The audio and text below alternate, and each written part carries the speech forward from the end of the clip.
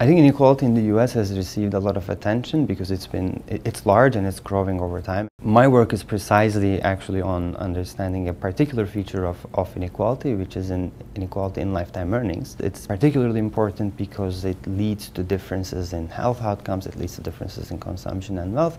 So I hope what will come out of my work will, um, will speak directly to, to, to the policy debate on, on inequality.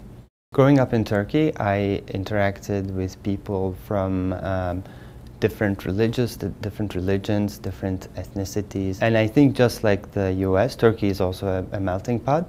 It's just it's a um, it's it's an older country, so the, the melting process has been uh, has occurred actually a lot a lot in the past. The economies are very different. The U.S. is a, is is, is a, is a developed economy.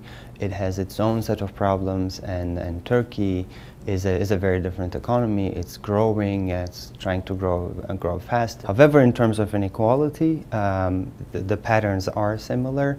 The Turkey is also facing a, grow, uh, a large, large increase in inequality in, in income and in, consumption and in wealth as well. So in, in that sense, um, while the economic environment, the, uh, the underlying macroeconomy is different, uh, the type of social uh, concerns that people have are actually quite, quite similar.